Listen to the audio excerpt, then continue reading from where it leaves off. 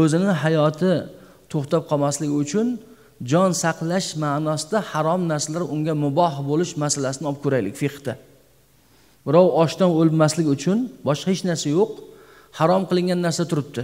Masalan to'ng'iz go'shti turibdi boshqa narsa yo'q. Haftalab och yotibdi u odam bir orolda deylik masalan farazan. U odam yordam kuchi kelguncha jonni saqlab turish kerak.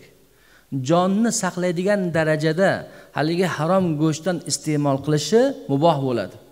Qornini to'ydirib yotmaydi undan unda harom bo'ladi. Jon o'lmay qolishlik uchun shu darajaga yetadiganini yeyishi unga nima bo'ladi? Muboh bo'ladi. Mana shu masalaning o'zi bizni dinimiz inson hayotini qanchalik qanchalik ehtirom qilganligini hurmat qilganligini guvohi bo'lamiz.